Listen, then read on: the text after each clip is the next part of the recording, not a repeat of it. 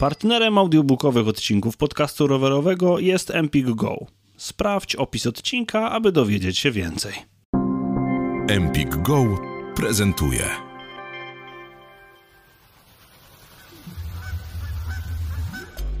Earborn Media.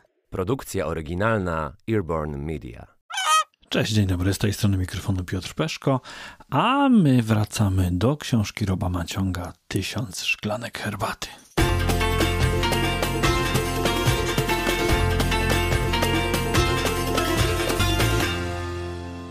Szósta klasa podstawówki. Lekcja historii Mezopotamia, Dolina Tygrysu i Eufratu. Magiczne nazwy, tajemnicze miejsca. Eufrat ten nierealny, znany każdemu z książek do nauki historii. Rzeka, która wraz z Tygrysem stworzyła jedno z największych imperiów świata. Rzeka niosąca życie i nadzieję w samo serce pustyni. Od lat chciałem go zobaczyć, by go odczarować, by stał się realnym wspomnieniem realnego miejsca na ziemi. I oto Eufrat płynie tuż obok nas, ale jest dla nas niewidoczny, ukryty.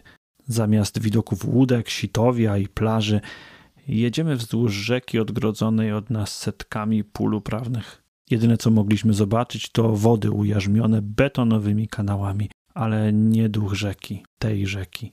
Obiecywałem sobie coś innego, coś magicznego, a utrzymałem to rozczarowanie. Gdybym sobie nie wyobrażał, jak to będzie, nie zastawiłbym sam na siebie pułapki. Eufrat wykorzystywano do nawadniania pustyni już od 6 tysięcy lat. Dzięki niemu zbudowano niejedną cywilizację, niejedno imperium.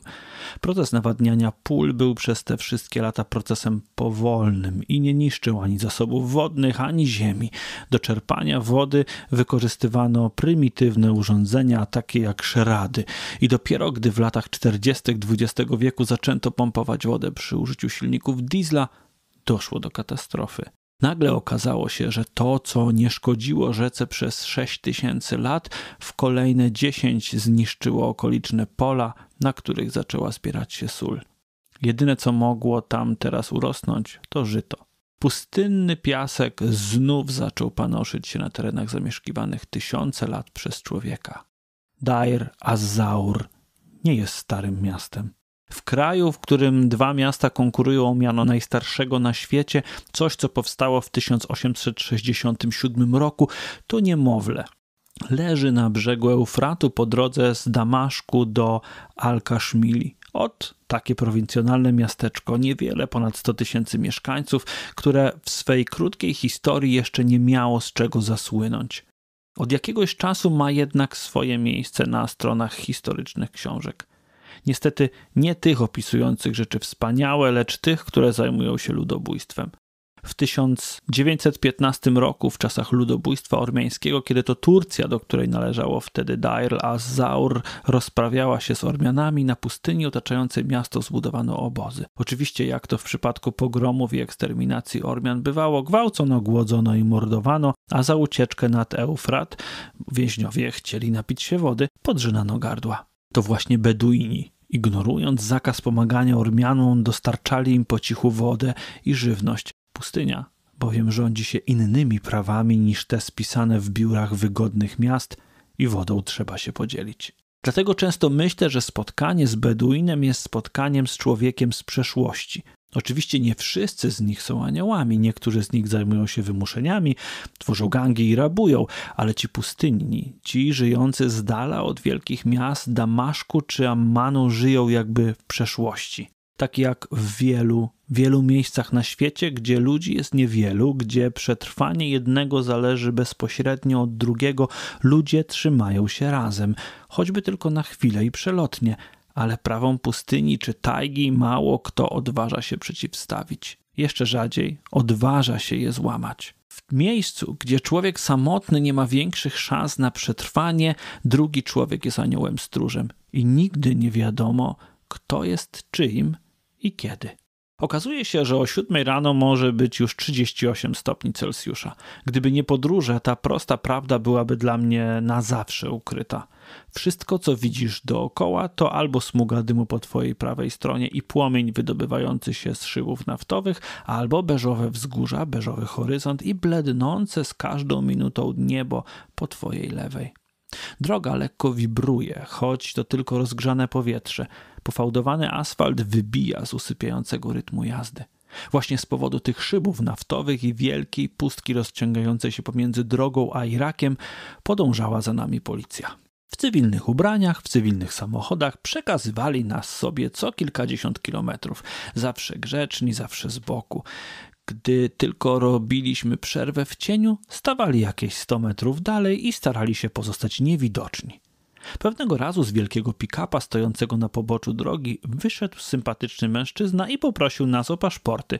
My poprosiliśmy go o jego i rozpoczął się dialog. Twierdził, że nie mamy się czego bać, bo oni są naprawdę policją i tylko chcą spisać nasze dane. My odpowiadaliśmy grzecznie, że wszystko rozumiemy, ale każdy może powiedzieć, że jest policją i chcemy zobaczyć ich dokumenty. Oni mówili swoje, a my powtarzaliśmy swoje.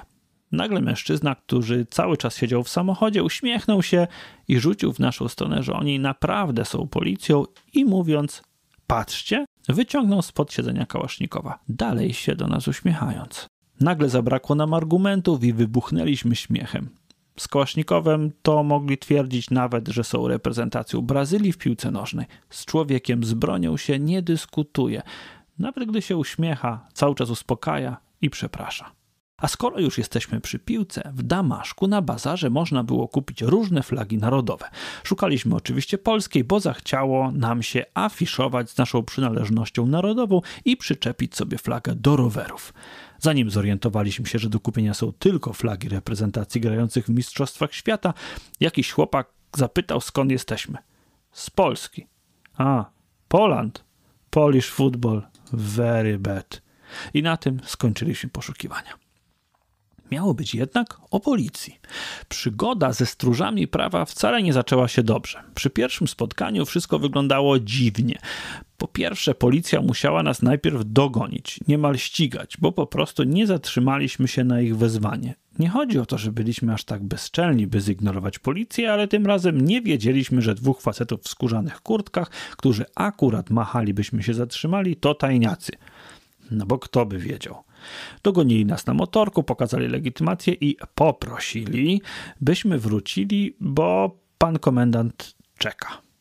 Na posterunku wzięli od nas paszporty i zaczęło się wpisywanie wszelkich danych do wielkiej księgi. Łatwo nie szło, bo żaden nie znał angielskiego, z wyjątkiem słów typu proszę. Więc trzeba było tłumaczyć, gdzie jest imię, gdzie nazwisko, gdzie adres, a nasze, ale o co chodzi? Komendant powtarzał tylko don't worry, i kazał dolewać nam herbaty. Po godzinie przyszedł ktoś, kto umiał po angielskiemu, bo właśnie nie po angielsku, mimo że podawał się za nauczyciela tego języka. Tak czy inaczej, mogliśmy jeszcze raz, ale tym razem szybciej i chyba w dobrych okienkach wypisać imiona, nazwiska, adresy, numery telefonów i miejsca urodzenia. W dodatku zaczęły się pytania, co wy tutaj robicie? Więc jesteście turystami czy terrorystami? Komuś dopisywał, jak widać, humor i nauczyciel próbował wszystko obrócić w głupi żart. A dokąd jedziecie? A po co? Na nasze pytania, zwłaszcza te podstawowe, czyli ale o co chodzi, odpowiadał tylko, że właściwie to o nic. Komendant chciał się jedynie z nami przywitać, poznać nas trochę i zaprosić na herbatę. Trele morele. Bajerować przepana to nie nas, ok? A nie chodzi przypadkiem o te rakiety, co stoją przy drodze wycelowane w stronę Izraela? Pomyślałem, ale język trzymałem za zębami i pokornie czekałem na zakończenie tego niby aresztowania. Nie chciało mi się dociekać prawdy i zwiedzać aresztu. Przy drugim spotkaniu z policją najedliśmy się strachu i postawiliśmy na nogi pół miasta. W drodze do Abu Kamal, czyli wzdłuż Eufratu i prosto w stronę irackiej granicy, zajechaliśmy do Al-Mayadin na obiad. Zauważyliśmy, że jesteśmy śledzeni przez dwóch mężczyzn na motorach. Gdy tylko zapytałem Bena, czy już widział grubego i tego z wąsem, rzucił tylko, że jadą za nami od kilkunastu minut. Poprzednim razem policja, choć tajna, to się przedstawiła, jednak tym razem nic takiego się nie stało, więc nie wiedzieliśmy, kim są. Postanowiliśmy jak najszybciej wyjechać z miasta i niczym się nie przejmować. Ten z wąsem wciąż za nami jechał. Co prawda bardziej z tyłu, ale specjalnie się nie ukrywał. W dodatku, gdy tylko się zatrzymywaliśmy, on nagle skręcał w boczną uliczkę, udając, że na nas nie patrzy. Dojechaliśmy do głównej drogi, miasto się skończyło, a my zajechaliśmy do kogoś po wodę. W pewnym momencie ten z wąsem musiał nas stracić z oczu na zakręcie, bo niemal wjechał prosto w nas. My się lekko wystraszyliśmy, a on zaskoczony skręcił za jakiś sklep. Zszedł z motoru i zaczął łypać z krzaków. Kto to jest? Albo to policjant i nie wolno mu z nami rozmawiać, albo szaleniec, bo chyba żaden przestępca nie śledziłby nas tak ostentacyjnie. By rozwiać te głupie przypuszczenia, poszliśmy z Benem z nim pogadać. Co prawda, my po arabsku nie znaliśmy ani słowa i nie liczyliśmy na jego angielski, ale chcieliśmy konfrontacji i jakiegoś wyjaśnienia, nie pogawędki. Gdy tylko to zauważył, schował się w dyżurce szpitala, przed którym rosły te jego krzaki. Weszliśmy dziarsko, tak po męsku, wiadomo, z wysoko uniesioną głową i trochę zawadiacko. Przecież my się nikogo nie boimy, prawda? Jednak sanitariusze na nasze pytania odpowiadali tylko rozkładaniem rąk. Poszliśmy więc szukać lekarza. Może lekarz zna angielski. W końcu był na studiach. Wróciliśmy z kwitkiem, bo szpital nagle stał się opustoszały. Nikogo nie mogliśmy znaleźć, a tym bardziej lekarza. Gdy wróciliśmy, dobrze podenerwowani, ten z wąsem rozmawiał przez telefon w dyżurce szpitala i wyglądał na przestraszonego. I zaczęliśmy się zastanawiać, jeszcze bardziej niż do tej pory. Jechać do tej irackiej granicy, iść na policję, udawać, że to wszystko to jakieś idiotyczne nieporozumienie i jechać dalej. Po kolejnej konfrontacji postanowiliśmy zrobić mu zdjęcie, iść z tym na policję i zapytać, czy ktoś go rozpoznaje. Może znają człowieka, może mu nawet płacą pensję.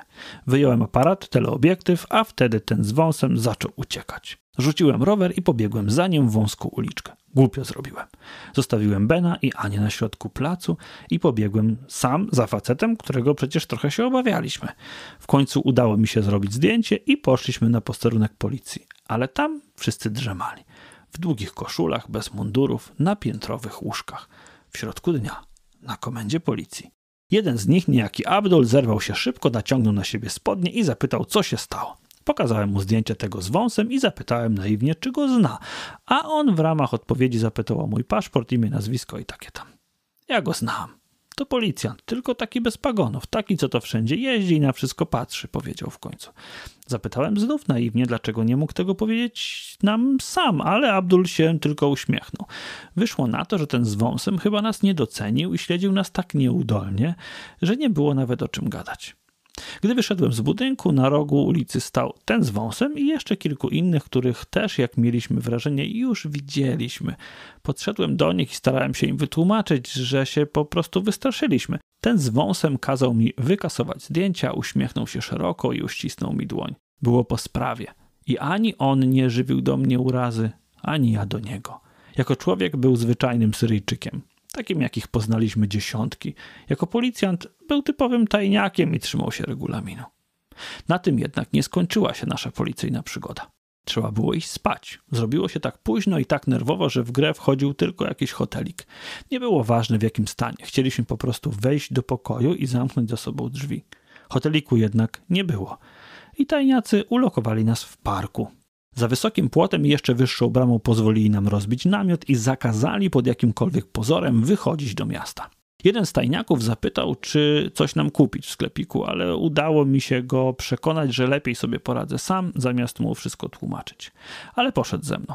I porządną kolację diabli wzięli, bo policjanta wszyscy znali. Gdzie nie weszliśmy, wszyscy stawali jak wryci, wystraszeni i sparaliżowani. Musiałem zadowolić się owocami, ciastkami i jakimś napojem o kolorze kamizelki odblaskowej drogowych robotników. Kontrolę nad wszystkim przejął jakiś gruby oficer w ciemnych okularach i o naprawdę groźnej minie. Siedział na ławce i tylko nas obserwował, ciągle rozmawiając przez telefon. Ważniak.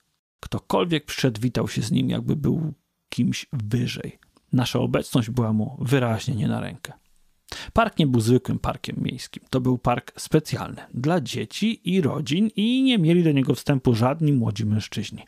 Gdy przyprowadziła nas do niego policja, jeszcze nie wiedzieliśmy o tym. Myśleliśmy trochę naiwnie, że mamy wszystkie trawniki tylko dla siebie i szykowaliśmy się powoli do rozbijania namiotów. Jednak tajniacy szybko wytłumaczyli nam, że namioty to możemy sobie rozbić, jak już zamknął park. Widzieliśmy wyraźnie, że był zamknięty, ale nie wiedzieliśmy, że jeszcze, a nie już. Gdy tylko się ściemniło, otwarto bramę i park zaczął się wypełniać rodzinami. Siedzieliśmy na ławce wyczerpani po całym dniu i nie mogliśmy iść spać. Dopadł nas marazm. Byliśmy tak zmęczeni, że już nam na niczym nie zależało. Policja przyganiała ciekawskie dzieci jakieś miłe dziewczyny, które chciały z nami pogadać, a my się tylko przepraszająco uśmiechaliśmy. O 11 park zaczął pustoszeć. O 7 mieliśmy być gotowi do wyjazdu. O pierwszej obudził nas donośny głos. Proszę wstawać, państwo nie mogą tutaj spać. Jesteście przecież wykształceni, przyjechaliście z cywilizowanego kraju i wiecie, że w parku spać nie wolno. Proszę wstawać. Halo, pobudka, w parku nie wolno spać. To tylko mundurowa policja przyszła nas zabrać z parku. Przyprowadzili ze sobą nauczyciela angielskiego, poczciwego staruszka, który swym irytującym głosem wbijał nam do głowy te wszystkie mądrości o naszym wykształceniu i cywilizowanych krajach. Chcieli nas zabrać na nos do dyrektora szkoły, a my zwyczajnie mieliśmy dosyć i jedyne czego chcieliśmy, to żeby się ulotnili i dali nam święty, muzułmański spokój.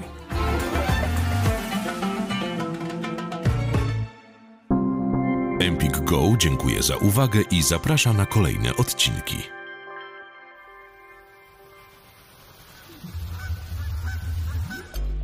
Earborn Media. Produkcja oryginalna Earborn Media.